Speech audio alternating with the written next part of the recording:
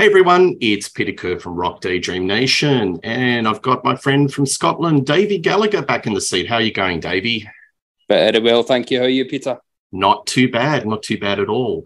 Today we're going to do a show contrasting two albums from the same band, but very different sonically and by lineup. We're going to cover 1977 Ultravox Ha Ha Ha apostrophe marks all the way through and we're also going to compare this against the 1980 commercial juggernaut of Ultravox Vienna.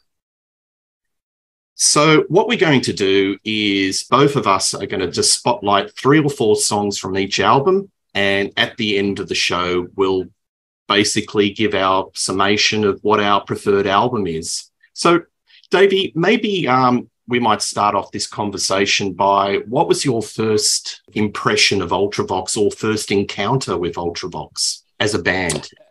Um, I mean, being from the UK, I just don't remember not knowing Ultravox. Um, I know from discussions with people online, even pretty big American pop fans, pop and rock fans, don't know Ultravox terribly well at all. Um, maybe they know a couple of things, but it's very, very scatty. Um, yeah. So I, I was really surprised at that because even if you only know the massive hits, you know, Dancing with Tears in Her Eyes, you know, the, that kind of thing, or even Midge's solo hits like If I Was and that kind of stuff, or his involvement with Live Aid and writing Did They Know It's Christmas?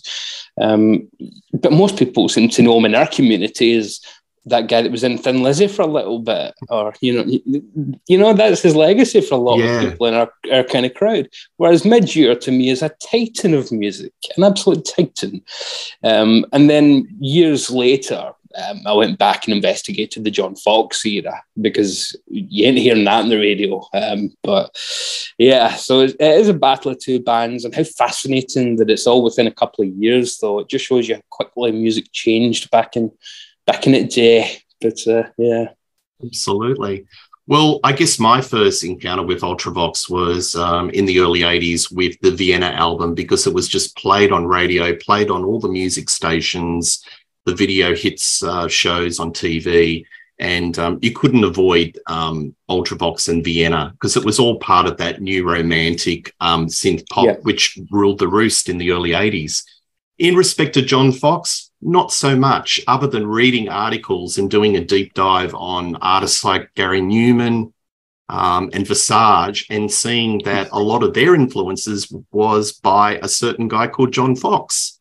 Mm-hmm. And um, I think John Foxx did a tour of um, a solo tour of Australia 10 years ago. I unfortunately missed it. I kind of regret it.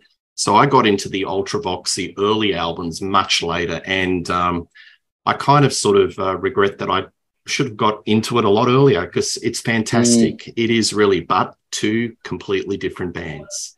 So, mm-hmm. all right. So, what we'll do, we'll talk about Ha Ha Ha, which came out in 1977. So, just a little bit of background. Um, the band itself is John Foxx on vocals, Steve Shear on guitars, Billy Currie on violas, synth, and keyboards, Chris Cross on bass and vocals, and Warren Cann on drums. Now you got the nucleus of Ultravox for the the um, yep. the Midge era, but we'll talk about yep. the subtle changes. Now this album was um, produced by legendary Stephen Lillywhite, who everyone mm-hmm. knows from XTC, Simple Minds, Siouxsie and the Banshees, Psychedelic Furs. He was like the who's who of the, um, synth pop new wave. U2, obviously. Yep. Absolutely. So um, maybe start off with um, yeah, choose a song. Um, put a, a spotlight yeah. on one song, and we'll we'll go from there. So yes, first of all, before we start, Peter, do I have a physical copy to hand because uh, because you couldn't locate yours on your shelves, and we've all been there. And then then the next time you look, it'll be staring right at you. Um, I ordered from Discogs about two years ago. I ordered a copy of the um, the limited edition uh, Japanese sleeve ones that they were selling. And the seller listed this as very good. This is how it turned up. I'm going to hold this up now. Can you see that all across the top there? Oh. just complete. Right. And then this is supposed to be LP, remember? So it should just slide yeah. out the side. It opens up like that because it's so badly. Look, that is that is very good condition. And it's the CD is covered in muck and filth. Oh. Um, he said, uh, "Well, it must have been damaged in transit." I said, "What transit? The Titanic? For goodness' sake!" So uh, yes, I don't really have a CD of this album either anymore. um, so yeah, um, sorry to so, hear. Yeah, You're Well, I not the only it- one who's yeah. gone through that that sort of experience. I've actually had a CD that's been crushed. Must have been in the pressing machine, and the CD was actually had a big chunk out of it. So yeah. uh, it's I mean, but the- frustrating when that happens. the nonsense thing was the envelope was fine. The jiffy bag was okay. So, you know, it was at it. It was it was just at it. Yeah. Anyway, um, so I, I keep that as a reminder to myself, um, never to trust in Discogs too much. Um, but yeah, to pick a couple of tracks. Um, I mean, overall, really, you could you could just discuss the fact that this album is almost ahead of its time. It's post punk before punk's even finished, isn't it? Um, John Mm. Foxx is doing this literate thing where post punk would take uh, things a few years later, but you know we're still in the middle of punk. I mean, these tracks were cut in '76, going into '77, and it was their second album in, in uh, about nine months. Um, I mean, I'll, I'll cut to the chase here. Um, my favorite song on this album, and one of my favorite Ultra so- uh, Ultra Socks, uh, that's uh, that's for the Boston Red Sox uh, supergroup, um, is the um, the man who dies every day. I love that song to bits. I absolutely adore it. I think it's one of the most literate songs. It's got a brilliant story. It's like a film noir um, that's that's set to this bass heavy electronic um, kind of monotone delivery, which again is very post punk from from John on the on the vocals. Um, very um, very punky attitude with a post punk delivery. And, and that's something that nobody else is really doing. So I wonder if that is uh, if this exact same album had come out a little bit later. I wonder if that that had had have uh, changed the course of history for Ultravox because they they just seem a little bit too Yeah. ahead of themselves. You know, it's like they're they're deconstructing a genre before the genre's had a chance to really launch itself yet. Look, I, I agree with you. That was one of my picks, so I'll do my um, spin on it. I think this is the blueprint for Gary Numan. This song, and Gary Mm. Numan has actually said that um, if it wasn't for John Foxx, I wouldn't have um, got started. He is my Yeah. main, one of my main influences. I love the viola of Bill, Bill Yeah. uh, Billy Currie. It's actually Mhm. I love his sweeping vi- viola all the way through Mhm. the catalog, and we'll talk more about Vienna because it's all Yes. over that album in spades. But um, it's got a really um, harsh baseline, uh, crisscross, Mhm. not not the crisscross, but the Yeah. other crisscross, Yeah. um, harsh baseline. And um, it's got a really alien, disconnected feel to it. And um, look, I'm sorry, John Foxx was definitely the blueprint for um, um, Simon Le Bon. I mean, I was listening to this album Mhm. and watching it live, and I'm thinking because I always had this theory that one of the main um, nucleus sort of influences for Duran Duran was Japan, but I'm starting to think it was actually maybe John Foxx Ultravox. Yeah, So- yeah, makes, and it makes more sense. Kind of being able to see them easily on the scene as well at that point. Yeah. So yeah, um, that that makes perfect sense. I mean, to pick another one from from the records, um, just to go through it. Um, I mean, I won't just pick my favorites because I think it's better to get a kind of rounded view of it. Yep. Um, artificial life. Um, I think that is where we can hear that you, John, although he's influencing others, is doing a very David Bowie um, or Ian Hunter kind of vocal on it here. I, I was almost expecting all the young dudes to come in at certain points. Um, first time I heard this, um, it's it's got a great riff, um, and it's perhaps the the first song I can, I can think of that mentions Scientology. I can't think of a song earlier than this that this is Scientology um, as a fad in 1977. That's quite incredible. Ahead of its Um, time. Yeah. Yeah, again, terrifically ahead of its time. Um, offbeat guitar, you know, not really caring if it's if the rhythms in, in sync or anything. It's just kind of doing that again, very post-punk scratchy thing, that that very scratchy guitar sound, chicken scratch, um, which again wouldn't come along until two or three years later. It's it really is like they have they have made the perfect album for the wrong time. Um, yeah. This one in particular. So, yeah. yeah. well, I think this album it, it, doesn't really sort of get talked about a lot um, when people no. talk about in the post-punk discussion. Um, everyone talks about uh, Gang of Four and all the obvious mm. um, major suspects, but they don't really talk about Ultravox as much. But um, that that song's a perfect example. I'll pick yeah. a song which is a little bit uh, kind of going through that offbeat, and it's "While I'm Still Alive." Mm. It's got mm. this really discord, wacky guitar line. Um, and then you've got this choppy piano line. So it, there's this counterpoint between the guitar and the piano. And um, Foxx is actually doing a little bit of a John Lydon type vocal. It's kind of sneering, mm. a little bit sort of um, anti authority. Um, mm-hmm. And you look at the lyrics, and the lyrics go stagger and swagger, combing my hair. If tomorrow's not there, then at least today's all mine. And I, I wrote down this is like a punk version of John Travolta walking down in Saturday Night Fever. So it's like the punk strutting down the street and going, "This is this is this is who I am. So yeah, I think it's got a lot of attitude, that song. I love it. Yeah, yeah, it's that that is a cool one. Um it's and it's got a real rock and roll purity to it as well. So I think I think they've been able to combine that um slightly more avant-garde post-punk thing with a rock and roll purity that still comes from punk. Um I mean my third pick from the, this album then would be um, another track that seems completely ahead of its time, um, because to me it sounds like what Bowie would go on to do in Berlin, um, but this is before Berlin, um, the the era, because um, they recorded this before he even went there, um, and it's Hiroshima Mon Amour, which uh, I mean again one of the the cornerstones of post punk is to be so kind of arty and literate. Well, they're literally making a song named after an Alain Resnais uh, French art house film, um, and you don't get more. You know, the Clash weren't going to do that, were they? Or um, or the, the Pistols, or insert name here. Um, so they were perfectly happy to do that. Um, it's sung totally differently from the rest of the record, intentionally. You know, it's done as a it's done as a, a complete vault face from what you've heard before. And it's, it's a really pure and heartfelt um, piece, which you just don't get on this record anywhere else. There's no kind of sincerity. There's a lot of um, nodding and winking in the rest of the record, but this one track at the end is just, what's this? This has come from a different album again entirely. Yes. Yes. Yeah. Well, that was one of my picks. And I think this is one of the ones that I actually had a vague familiarity. And I think I've heard this song before. So whether it's mm-hmm. played on um, alternative radio or not, um, I'm familiar with the origins of the song, and I think that's really cool. I love how mm-hmm. it starts off with this really um, a simple drum machine pattern. It's like bossa mm-hmm. nova. And then yeah. it, this drone like synth line comes in and it just envelops the um, the song like a, a mm-hmm. fog.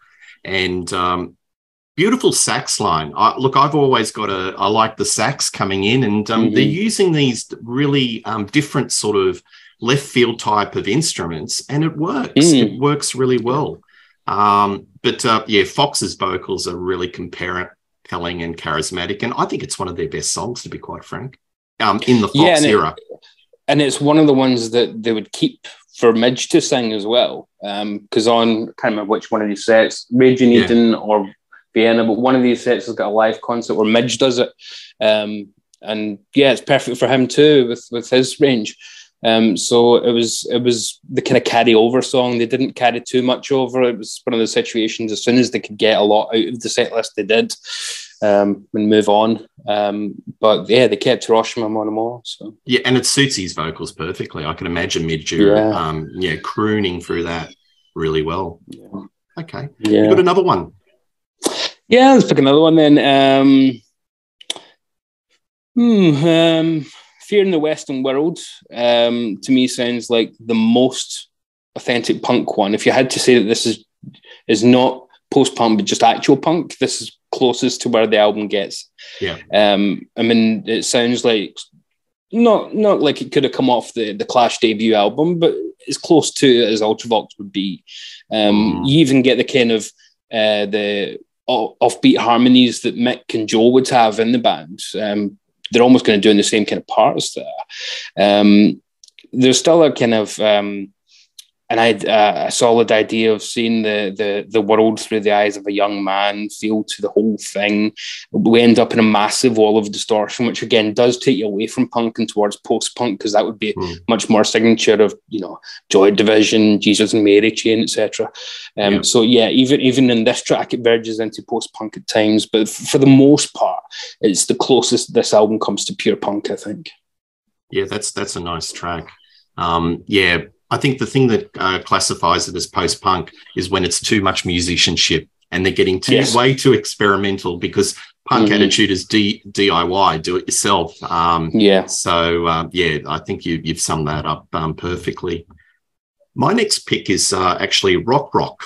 Um, I think this is a bonkers opening track, yeah. and it's actually got. I wrote down a Bryan Ferry type vocal, and to me, mm. I think it is a, a, clash between glam and punk because yeah. um, I think John Foxx was very influenced by those those cats of the early 70s, your Ferrys, your probably your Lou Reeds, your, your Bowies, all the superstars. Um, loves the glam, but it's like a clash between glam and punk. And I think it's a yeah, really good. A little bit New York Dolls almost. Mm. Yeah, and that Absolutely. kind of presentation of so it's like a deconstruction of glam rather than yep. doing glam. Yeah. Yeah. And again, we're, we're, we're practically still in the glam era, you know. I mean, the Hoopla are still going and um, Marc Bolan's still alive, you know. I mean, he's, Bay City not... Rollers are still, you know, like at the tail end, aren't they? yeah. They're, they're, so... I'm, I'm, talking about the really populist glam, but um... yeah. Um, I mean, Marc Bolan's at this point got a BBC TV show and it's more variety. So it, we're definitely mm. the the the arse end, the fag end of of glam yeah. as a as a, an interesting entity. But it's interesting that so soon after it was a viable genre, here they are kind of deconstructing it again. It's only just finished. You know, it's like the minute something was done, we can take it apart and start again. You know, yeah. to quote Orange Juice, you know, rip it up and start again. Yeah, but it's really funny that punk was kind of a rebellion against prog rock and what they perceived the dinosaurs, like the Led mm. Zeppelins and all the stadium rockers. But a lot of those punks, they loved glam. So yeah. that was not the genre that they were really rebelling against. And I think they yeah. always tapped into that genre. Yeah, and I, I think um, it's just a nice quote, isn't it, to be able to say that you know that killed you know punk killed uh, prog and then you know grunge killed hair metal you know all these things. You think no everything's got a shelf life. Everything moves on. Um, mm. absolutely every scene um, evolves eventually. We're probably now in the only era um, since what 2005ish where you don't really have that so much um, mm. because everything you know with the age of streaming you can just stick to one type of music and your computer will just give you that and nothing else so you don't need yep. to be exposed to anything outside your comfort zone yep. Um, yep. you don't need to a dj doesn't need to know anything about music it's all programmed for them um, so yeah so we're still we're still very much in this era here where music's you know if you turn around um, it's changed on you and by the time you turn mm. back you need to change your hairdo and everything because it's so different yeah, um, yeah, and you're right johnny lydon was going about with a uh, pink floyd t-shirt you know a couple of years before saying he hated pink floyd and well apparently he wrote a nice letter to robert plant and wanted the lyrics to kashmir mm-hmm. Yeah, so, um, I, and and you see, you see Joe Strummer when he was digging graves, he had the long hair and the big sideburns yep. and things. Yep. I think there's a little bit of theatre in John's world. I love John, but there's always that little bit of pantomime, that little bit of theatre of like, oh, yeah. I hate it, but secretly, not not so much. Yeah, he's, he's, a yeah. Panto is the best word for John. I mean, it, they were the Monkees of the punk movement. Really, they were put together, which we'll come to, funnily enough, in a minute, won't we? Um, yeah. With Midge yeah. Absolutely. Have you got any? Oh, okay. I'll I'll do one more, and then maybe any other notable um, ones that you want to point out. I've got frozen ones. Um, yeah. starts off let's, as a, let's just share that then. Yeah. yeah that starts as, as, a mysterious, slow, atmospheric piece, and then goes into this uh, punk rocker type. Stevie Shears, you've got to say he was a valuable player in that band because his mm-hmm. guitar lines are just so charged and spiky. Yeah. Um, it's phonetic, full of energy. Um, what do you think of this one? Um, I love um, the the finger clicks at the start. You know, that's a really fun way to get into. You think we're going to get doo wop all of a sudden because I wouldn't put that past John Foxx. Um, you know, we're getting some strange ideas, and then you get the lone synth at the start. You know, it's very almost desolate. It's, it's a strange, strange way to get into that track, and a very cold, lonesome vocal from John at the start of it. Um, and for the first minute or two, you could think it was the later incarnation of Ultravox. I think it could it could almost be something in Vienna, um, but then the energy comes in, and then you think, ah, yeah, this is the John Foxx era, um, um, where um, it's much more frenetic, and we get the um, I mean, it's an outsider's anthem, isn't it? With the whole, um, are we the frozen one? You know, with the up and down. It's very sing along. It's designed for, uh, I don't know, the Hammersmith. You can imagine people being rammed in in their dreams. This is what they're picturing. We'll sell out the Hammersmith, and everybody will sing along with this line, and they'll sing up and down it. And, uh, it never quite happened for this version of the band, but you could you could imagine this is the kind of anthem they were writing with that in mind. Yeah, look, um, folks, there's some fantastic live footage on YouTube of the John Foxx brunted um, Ultravox, either whether they're on the top of the pops or even I think might have been the Hammersmith. It's it's really an mm-hmm. eye opener just to see what a great live band uh, mm-hmm. they were. I'd love to be in a time machine and see them. Um, yeah, Davy. Fantastic. Um, yeah. I mean, in the UK, uh, any idea what John Foxx is up to? Do you is he still touring? Do you still see things? No, I mean the last I heard it was he's a photographer. I mean, I think he did. He, he has toured and he released a few solo albums after Ultravox because he did go yeah. solo. Yeah. Um, but that didn't go anywhere, and he kind of retired. And I can't yeah. remember what his occupation was, but it was um, it was something like a state agent or um, and then, yeah, he ended up being a really well regarded photographer, I think, if I remember right.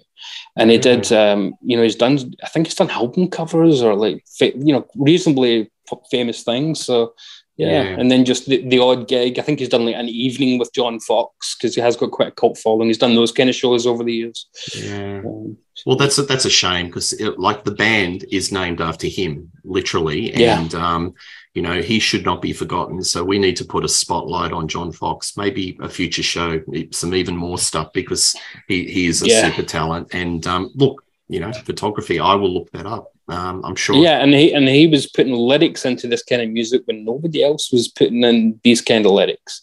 I mean, they were putting in lyrics, but they weren't always the most well thought out. You know, and sometimes they had a, a wonderful spiky attitude that gave them something. Yeah. With the Pistols, the Clash certainly yeah. became great lyricists later on. Joe's a wonderful writer, mm. um, but didn't get to show it as early as this. Put it that way, you know. Yeah. Joe's still singing about we're a garage band. We come from garage land. Um, you know, the Spanish bombs in Andalusia are quite a while away, aren't they?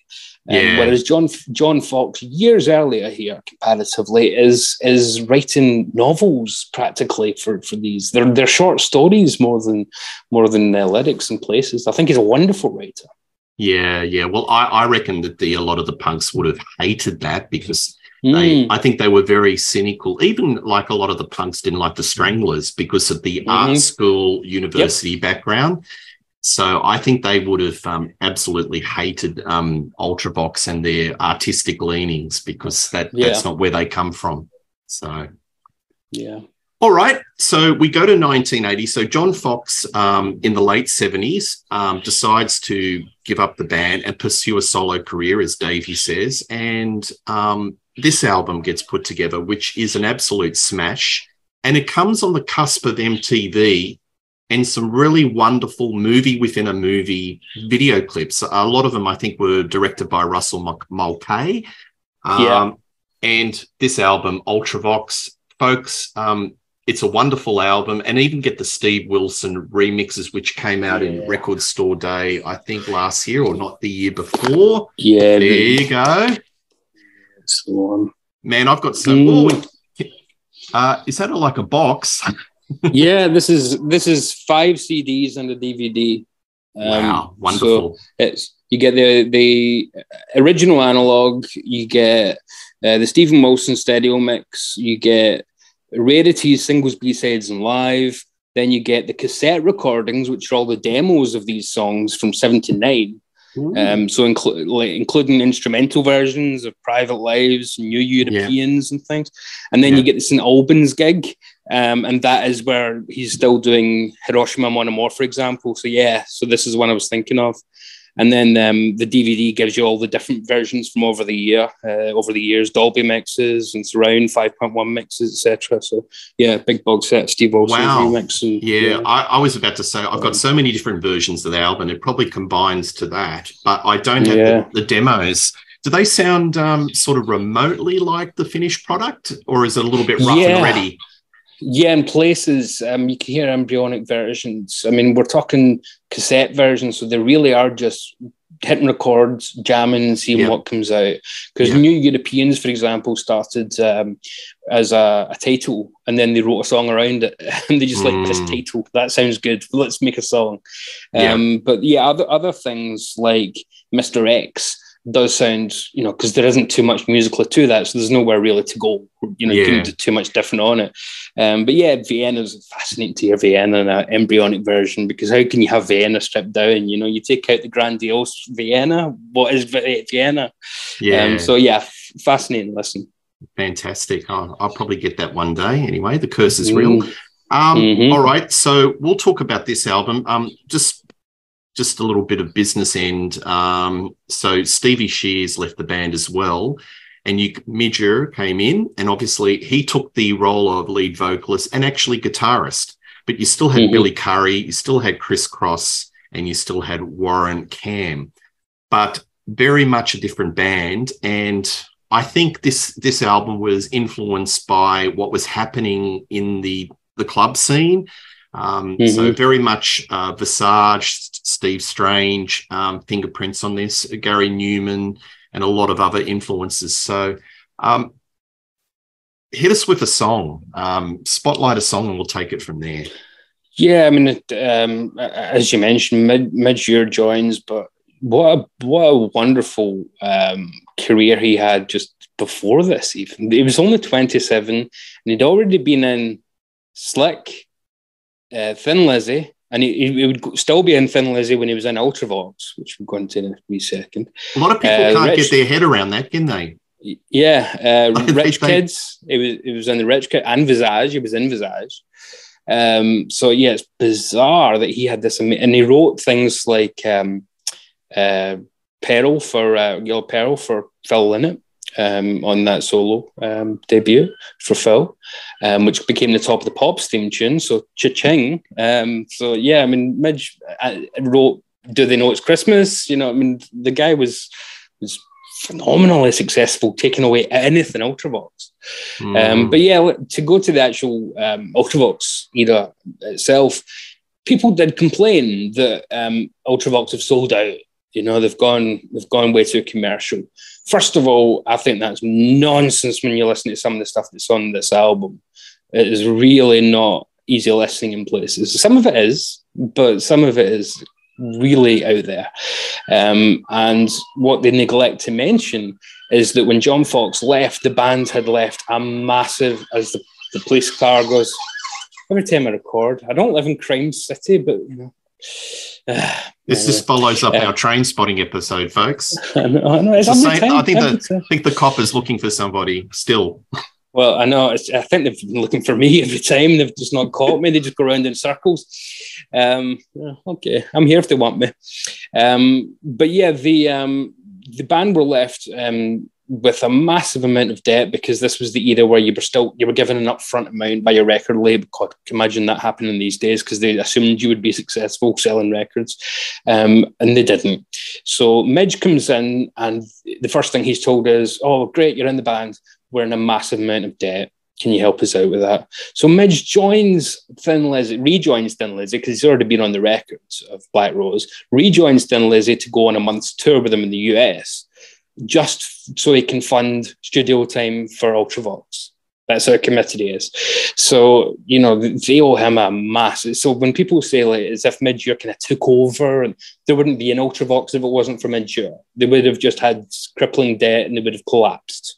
Midge saved Ultravox from from from losing their granny's houses. Probably they were in so much debt. Um, comes in and knocks it out of the park straight away. Yeah, the first couple of singles were not massive hits, but then the title track pushes them over the edge and they never look back. So, I mean, you, you said let's have a look at a couple of uh, tracks. To me, I would just have to start with the title track. It is to me the ultimate Ultravox song. Um, Dancing with Tears in Their Eyes is the most successful. It's got the most played um, in, in Spotify and things but this is their masterpiece. Um, when it starts with that dum dum dum dum dum dum, and it's so sparse, and Midge is doing that really unusual vocal. He's not singing like Midge really at all. He's almost singing in this kind of mumbly fashion, you know, where he's doing the um, voice freedom and a person Christ stays with you until it's like, it's like he's trying not to move his lips almost, you know, he's trying to set a scene of, you know, and he never sings like that again. It's a, so it's a conscious choice to do that. Um, you know, where he's so and so, um, and then when the when uh, that's an ambulance this time, so something clearly has happened. Yeah, and it wasn't me. I've got a witness. Um, the um, when the the chorus comes in, yeah, it's keys, but by this point, keys had come along just enough that they could come up with something that sounded cathedral like and epic and massive. And by God, when that comes in, when he goes, this spirit is gone, only you and I. It means nothing to me. This means nothing to me. Oh, Vienna. It's like, what? Where did that come from? I never get um, sick of it. Never. Yeah, me neither. Me I neither. could hear this a hundred times. Yeah. It should be. It should be one of those songs that we go, oh, come on, come on, we've heard that. We know we can, we can sing it in our sleep. Um, but everything about it is just hook, hook, hook, but never in a cheap way, never in a sellout mm. way. That's why that's why I don't accept this premise that they sold out. Um, I don't accept it at all.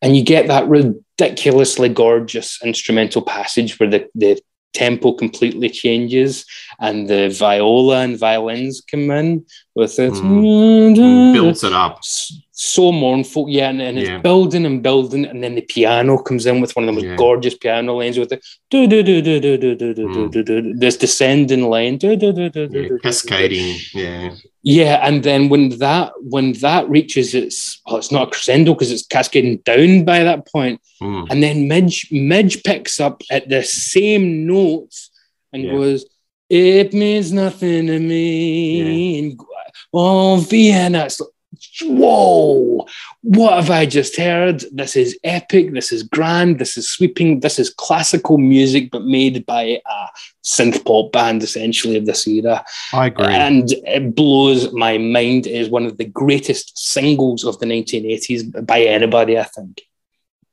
Well said. Um, I agree with everything you said, and it is a head scratch that that um, didn't reach number one because of my countryman. Uh, Shut up, your face, Joe Dolce. Yeah, that really. um, yeah. I know, I know the I know the Brits love a um, a novelty song, but come on, folks, seriously.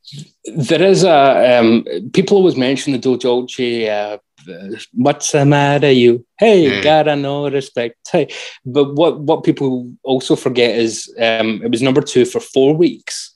And the first two weeks, it was actually held off number one by John Lennon, who had just died, obviously.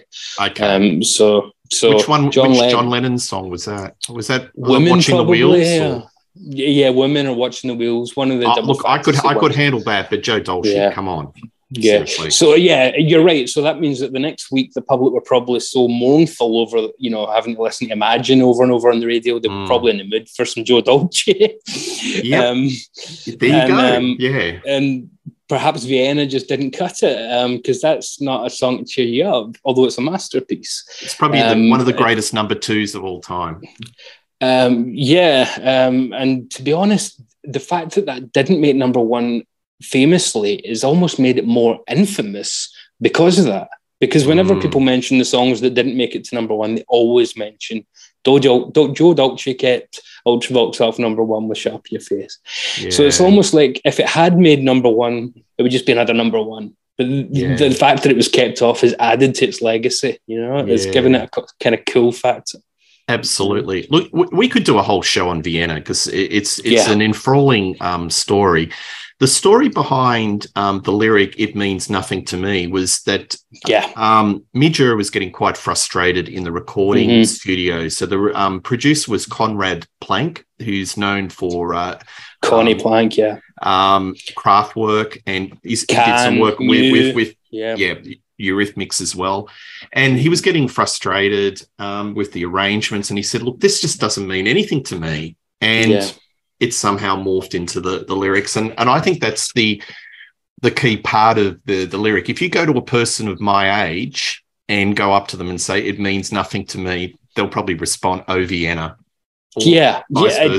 Well, to this day, when anybody in work says, "Oh, we're off to Vienna for a long weekend," instantly that means nothing to me. Uh, you know, instantly, instantly, and everybody knows what you mean because it's it's never faded away. I don't know if the, the show ever made it across um, across to the other side of the world there, down under, but um, there was a show called Life on Mars about 15 years ago with John Sim yeah, as yes, a cop. yeah, yes. Um, and he he was he was a modern day cop. Is in a coma. He wakes up and it's, he's all of a sudden a cop in the 1970s. How did I get here? Yep. And the music the, the music that plays is David Bowie's Life on Mm. Mars.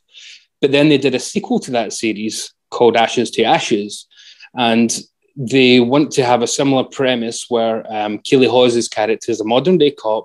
She's in a car accident. She wakes up and she's in 1980 and how did I get here? What the hell's going on? And the music they use to show her confusion of what's going on is the while she's looking around, and then it means nothing to me while she's looking around, Yeah. completely dazed and confused, wondering what it's it's it's brilliant. So it's never left the pop culture. I don't think it ever will. It's it's just a seminal single. It's one of the great songs. Absolutely, and you you were you were spot on. I can remember the reviews of this album from the Mhm. Cool Press, um, like your Nick Kent's. I'm not saying necessarily Nick Kent's, but um, sort of your NME type of uh, Yeah. critics were were not that favourable to this this album Mhm. because I think they were bunching it in the um, the teen set and Yes. um, the synth pop, and I, I only think it's like years later that people are going back and saying Mhm. this is this was actually great music. Um, Yeah. So I mean, we Uh, need to pick a. We better not gush just over Vienna because Yeah. that would just be one track. Um, I mean, the fact that it opens, you know, to to suggest that this is a sellout album, but it opens with a seven-minute instrumental, uh, Astrodyne, is just ridiculous. Um, sellout albums do not open with seven-minute synth instrumentals. It's brave, Um, isn't it? It's brave. Yeah, it's- yes, absolutely. Um, and it's almost like they're uh, paying tribute to Tangerine Dream, one of their earlier influences. Um, stunning stuff. Um, you know, the idea that a sellout would would start with this, no, no chance. Despite the fact this was very much the synth era, they wouldn't do that. But then that flows very much straight into New Europeans, which to me is the closest they sound on the album to the Fox era. I think so. I think it's well it's well positioned in terms of a a, a, a bridge between the two eras, if you like. Because I love New Europeans, I think it's great, great uh, track, so well produced, brilliant guitar parts. The middle eight itself is, is wonderful. Um, again, the lyrics on this were done by um, on most of the album. Midge wasn't the lyricist; it would become the lyricist, but it was Mm. um, the rest of the guys. It was the drummer mostly. Um, the the the the, the, uh, the lyrics. It was, Warren Can, yeah Warren Can. um, which is just you know bizarre because he wasn't a writer really during the during the the Fox era too much, and he came up with some great stuff. You know, with the on a crowded beach, washed by the sun. He puts his headphones on. His modern world revolves around the synthesizer song, full of future thoughts and thrills. His senses slip away. He's a European legacy, a culture for today.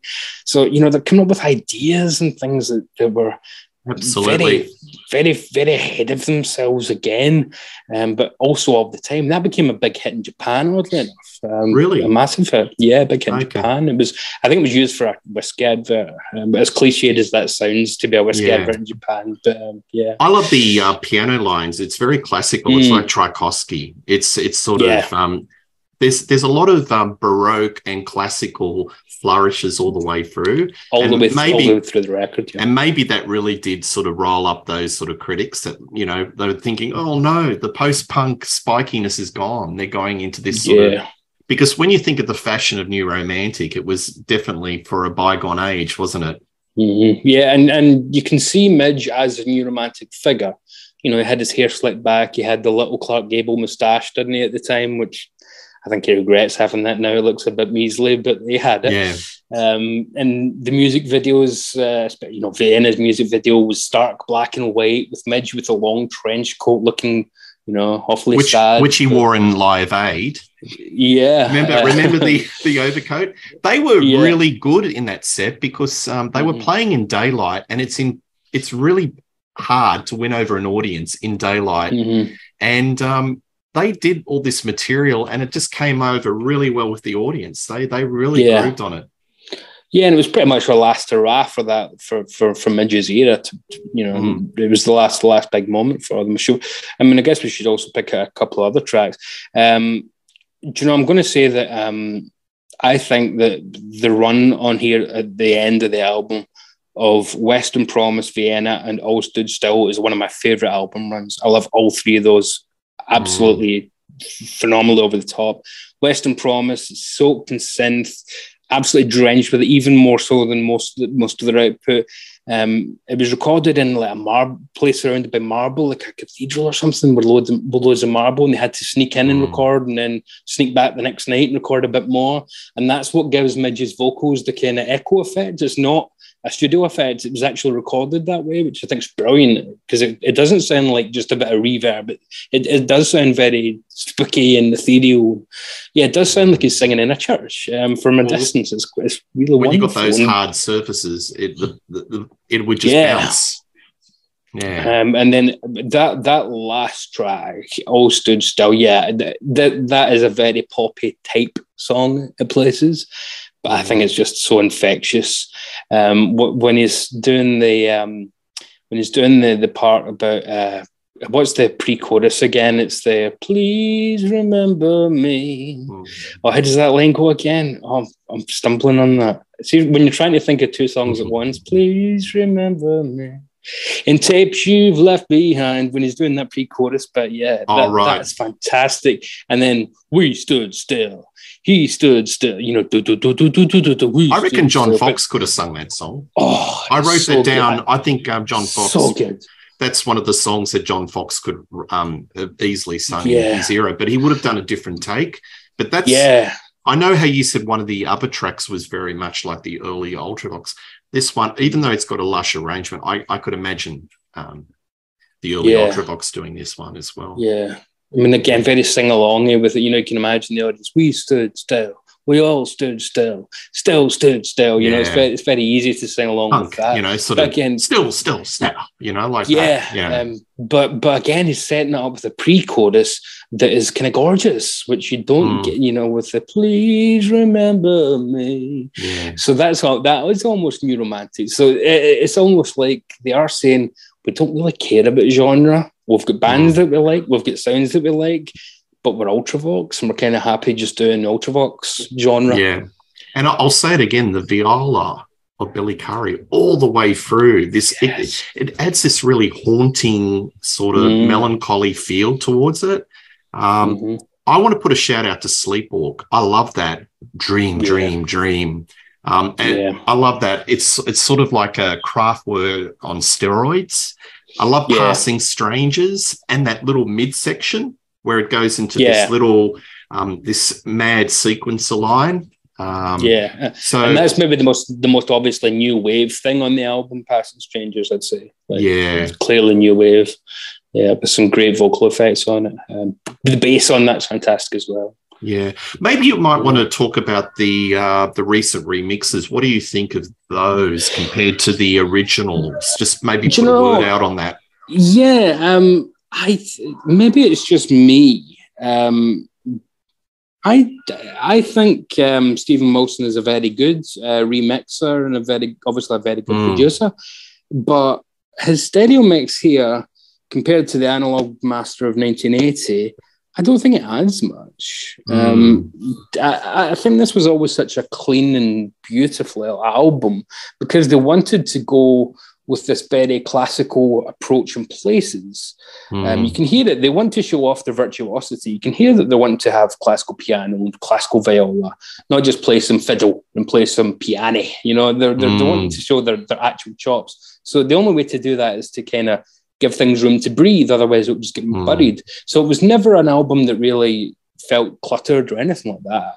So Stephen Wilson's stereo mix isn't essential, I don't think. It's not one I'd say, oh, you must hear what he's done with this, unlike, say, his work with Jethro Tull and some of the Marillion stuff. Or, or Sabbath yeah, um, which is so where you see the difference is so evident yeah. because he yeah. he he brings out certain instrumentation that you've never heard. Mm. Um, but yeah. this is kind of more maybe more uh, a subtle type of remix. Yeah, subtle is the so. word. Yeah, and I, I, wonder if that's that's probably the reason why it's not had a big standalone release separately because there's just not enough to make it worthwhile. Um, Whereas, you know, I think he's done wonders with Tears for Fears as well. Um, you know, he always finds things that can bring forward. And It just mm. makes the mm. room feel a bit bigger. But just this always did to me anyway. It's such a such a wonderful, wonderfully produced record. Um, that yeah, I just don't think there's there's ever been anything wrong with the sounds of it. And even after after listening to Steve's version um, and all the different mm. versions that are on the DVD, um, and yeah, it's interesting to, to, even look at the guys. You know, what what kind of scene did it look as if they're trying to fit into there? It is new wave, isn't it? Um, it is. But it's all, but it's you know, it's yeah, it's full I mean, on. It's full on film noir. That you know, the uh, the photographs they all look very you know, yeah. like on the on the back where yeah. you know all those yeah. portraits. Mm-hmm. It's sort of like a you know, Jim, sort of like a 1940s uh, bogey yeah, you know, yeah, they're in Casablanca yeah, or something. Gene Tierney's going to come out, and I don't know. Yeah, yeah, it's like Robert Mitchum should be should be shot with colors like that. Really, um, yeah, almost. In fact, the the picture of Warren there looks like Billy Joel's The Stranger or something. Um, it's yeah. a great picture of Midge. I don't think he's got his moustache too grown in there. You can yeah. barely see it. Um, yeah, I think he needed a bit of pen or something to go over that, a bit of his uh, girlfriend's yeah. mascara or something, because his mustache was never too hot. Yeah. Um, look at look um, at the photo of Warren Warren Cann. He looks very Japan like. He could sort of that um, androgynous yeah, look. He, yeah, and again, they took flag for that because he's wearing makeup. Um, mm. So you know what's you know they going for here before and Human so League, folks. Before Human yeah. League. In fact, Chris Chris on that picture. Do you not think Chris looks like Mark Almond? On the back of that. Look at his face. Tell me that doesn't look a bit like Almond. You're right. Yeah. You're right. Two more questions before we wrap it up. So, mm-hmm. what out of these two albums is your favorite? What do you what wins if we had an album battle? It's almost unfair because um, this is this is such a seminal album that I think um, that this is the kind of album that somebody who isn't even a particularly big Ultravox fan should just own this anyway. Mm. I think hmm. this is the kind of album that you should just have in your collection if you're a music collector. Yep. It's, it's everything that's good about 80s synth music for me, late early 80s uh, synth music is on this record. And the ambition and the production and the playing and the addition of Midge-Ure and how quickly he settles in and how wonderful this whole project is. You would never know this was a band struggling and him having to do side hustling and mm. everybody's taking on odd jobs and different bands doing session playing to just pay for more studio time to finish the bloody thing. Mm. Um, this to me no, this is their masterpiece. This is their magnum opus. And that is not to decry, well, okay, I will decry this particular version because it's a piece of shit. But yeah. um, in, in general, um, this album is fantastic. It's overlooked. And yeah, I'm going to say that Vienna is better than it. But mm. for what this is, for what this is, it's brilliant. It's absolutely brilliant. And yeah. I think there's a lot of people out there that would get a lot from this who actually wouldn't even like this. They yes. would think this was too too poppy, too too synth heavy. Whereas the, the punkiness of this, I think, would would appeal much more, and the pre post punk, if that makes any sense, would appeal to them. So yeah, I'd recommend this for that kind of crowd. Well, I agree. I'm going to pick this because I've got an emotional attachment. I bought this in 1980. Uh, I listened to it all the way through school. So, from an emotional attachment perspective, this is the one that I picked, but I think it's a bee's whisker just above ha ha ha because I've you know, I've only heard that ha ha ha last five years. And mm. you can just see the influence of that is just immense. And reading and doing a deep dive into the album to see all these artists are just so influenced by that era of Ultravox. Yeah. One final question to you, my friend. What mm-hmm. is the, how do you think Ultravox is regarded today and what do you think they will be remembered for?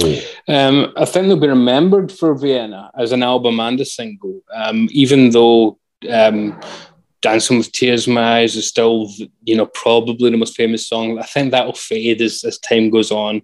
Um, you know, that's the kind of sappy thing that you know got them a lot of money, got them a lot of airplay, but it doesn't have longevity. I mean, it's a good pop song for what it is, um, but it's not got the depth and it's not got the the the the staying power that this rightly should have.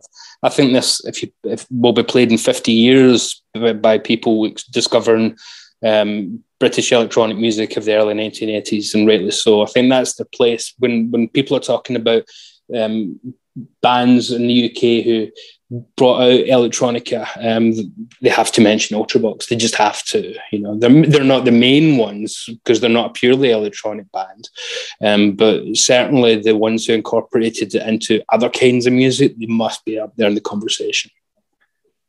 Yeah, well, I agree with everything you've said. I think that um, everyone will remember them at least for that one song, Vienna, because I think that is part of pop culture, at least on the um, the Anglo side of the world. And um, yeah, I, I, don't think they will be forgotten because uh, their tentacles have been far too many into a lot of other bands that were influenced, um, and we've we've discussed those. Davey, thank you again. You have uh, brought, brought, brought home the bacon, as they say. Mm-hmm. Um, this has been a really enjoyable, free flowing conversation about Ultravox, and um, I'll put all your details regarding your channel. Please check out Davey's Fantastic. channel. Please like and subscribe to Rock Daydream Nation, and tell us what you think of Ultravox and these two albums. Which album you pre- prefer or not and guaranteed, I think we're going to do a, a, a Suede show um, in the not too distant future. So we'll, we'll cover yes. that. Watch out for that, folks. Yep. Uh, I think uh, Davey's chomping at the bit to talk Suede, and I'm looking forward to having a conversation about uh, some of their albums. And um, I think by the time we do that episode, you, well, I think you've already seen them, haven't you? So, I did. I saw them a couple of weeks ago. But we'll leave that so, to the Suede episodes. Yeah. yeah, fantastic. All right. Cheers. See you later.